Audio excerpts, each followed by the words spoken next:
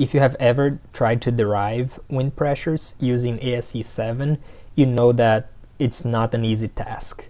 There are so many parameters, so many different equations that you need to use, and all these different procedures. That's why a lot of engineers rely on spreadsheet templates to be able to get the wind pressures and move on with design.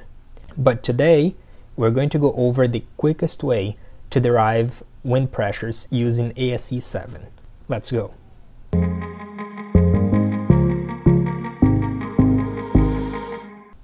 We're going to solve our example problem using ASCE 716 and chapter 27 and chapter 28 are the chapters where we have the wind load procedures, derivation procedures for the main wind force resisting system of a building.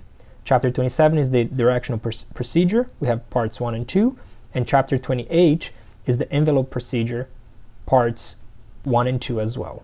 We're going to use the quickest method, which is in chapter 28, the envelope procedure in part 2. We go here and we find the steps that we need to follow to design using this method.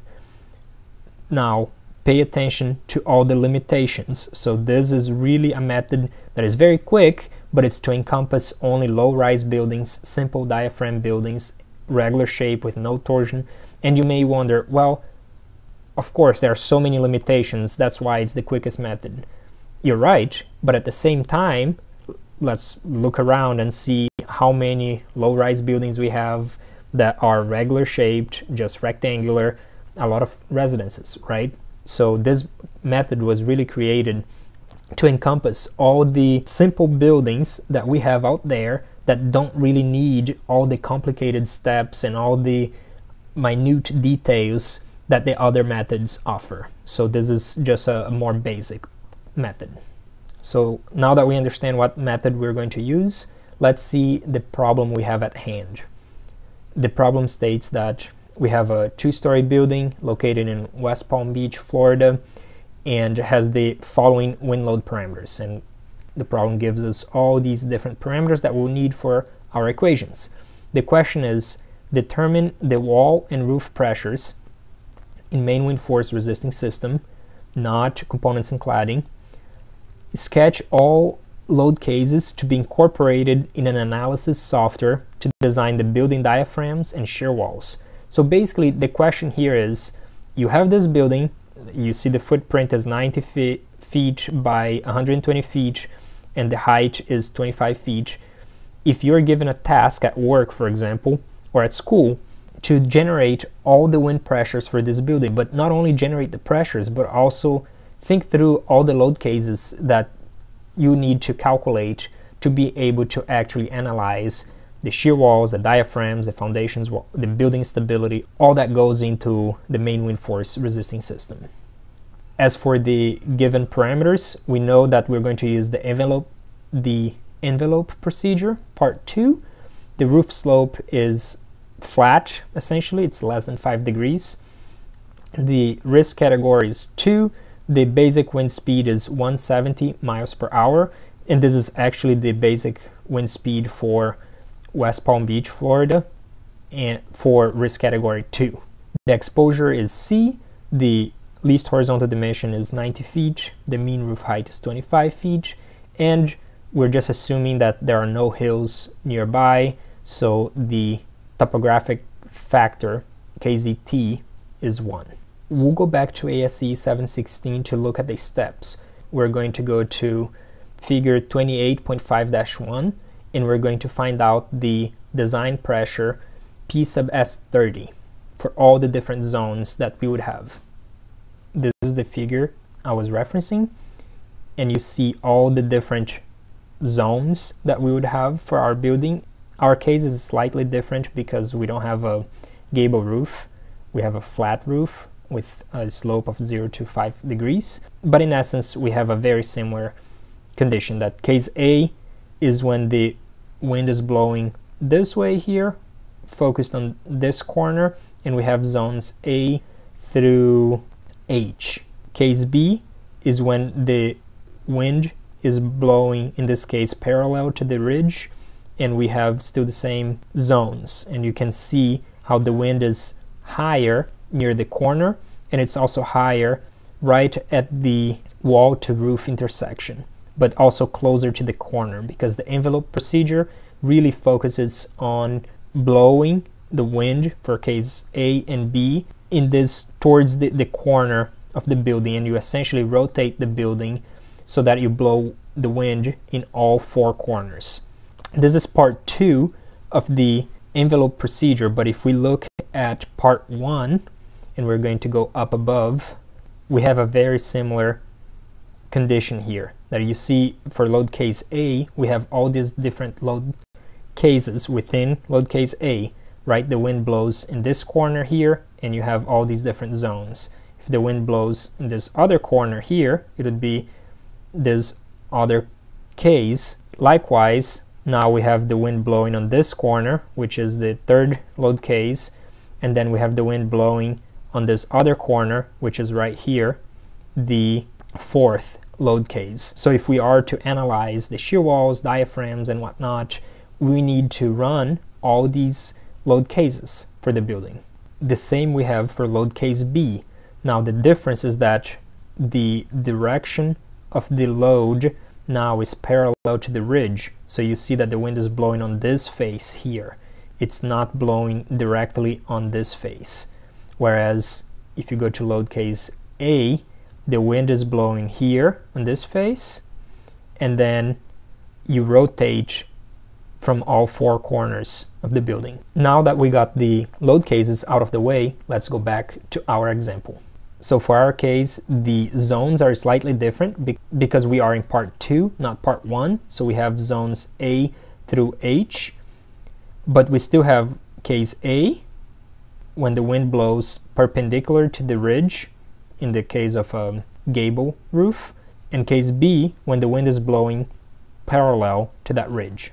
So to get each pressure, really all that we need to do is solve for this equation here. We have this factor lambda, and then kZt, and then our pressure, this simplified design wind pressure, P sub S30, which is for exposure B and also at height 30 feet. Because not all buildings will be this case, that's why we have this lambda factor, which is an adjustment for the actual building height and also for the exposure that we have. So with that being said, let's now find P sub S30 for our building. We go to this table here to find P sub S30 and we see all the different zones for the horizontal pressures A through D and for the vertical pressures E through H as well as overhang pressures in which case we don't have for our specific building. We know that our roof slope is 0 to 5 degrees but our basic wind speed is not 85 it's 170 so let's move all the way down to 170 right here. So with this information, we have all of our pressures for our building. Let's now see what the next step is. So here I copied over all the pressures that we have, P sub S30, for all the zones, including overhang, even though it's not included in our problem. The next step is to determine the adjustment factor for building height, the lambda factor. So let's go back to ASCE 7.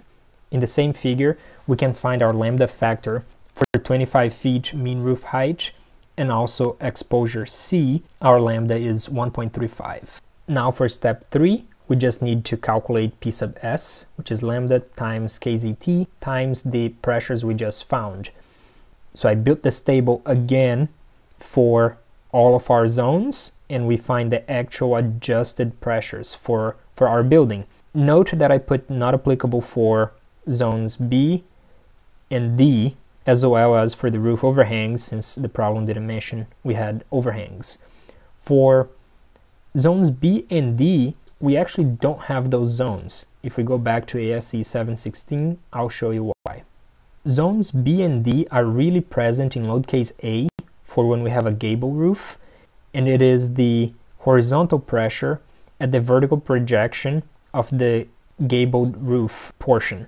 If our slope is 0 to 5 degrees, this the height of this pressure here for zones B and D is going to be very, very negligible. That's why I just included it as not applicable, because it shouldn't make any difference in our design. I could see how I would include zones B and D if this was an actual building, a prefabricated metal building, for example, that maybe this vertical dimension is one foot or two feet, wherever that is, that is actually going to pick up more pressure. But if our roof is truly a flat roof with just tapered insulation on top, our slope is virtually zero and there shouldn't be any significant pressure getting picked up by zones B and D. The next step is to calculate the width that we will need to use for all these different zones. And that's the dimension A and also dimension 2A. A is the smaller of 10% of the least building width or 40% of the building height, of the mean roof height. We also have a minimum value that we need to check against, and that is the A minimum is the greater of 4% of the least horizontal dimension of the building, B, or 3 feet, in which case if we plug the numbers in here we get 3.6 and our, our A is greater than that so we are we are good. And then we have our dimension 2A which is 18 feet. Now to finish it off we got all of our pressures we just need to apply them. So we have case A and case B. For case A we have these wall pressures here that is higher at the corner at the dimension 2a, which would be 18 feet. And also at the roof, we have zones E, F, H, and G. I have these double arrows here to indicate that they could be positive or negative, but that's really for a gable roof. If we go up above, we will see that all these pressures are negative. So in our case, we have suction for all these pressures. And then A and C are positive pressures going towards the wall. For case B, it's a similar condition with the exception that 2A is only for the roof and the dimension A is for the wall. I know it looks a little bit strange to have these A and 2A dimensions, but that's how it is described in ASCE 716. That's how the figure plays out the values for A and 2A to incorporate all the corners appropriately based on the testing that was done for the envelope procedure. And then I put a note here that we need to repeat cases A and B for all corners. This would generate in total eight load cases. So in this case here, we are blowing the wind in the long wall of the building, focusing on this corner here. The second load case for case A2, let's say, it would be the same condition with the exception that we're looking at this corner. So you can just mirror this pressure to, to the other corner.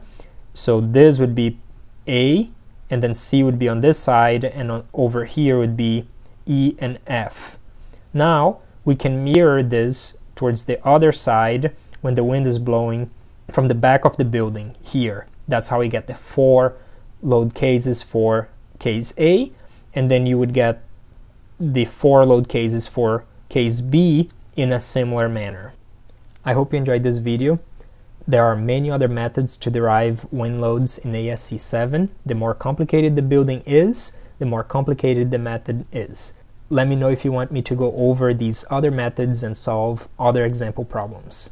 I also left a link in the description below that you can use to download this example in PDF format. I'll see you next time.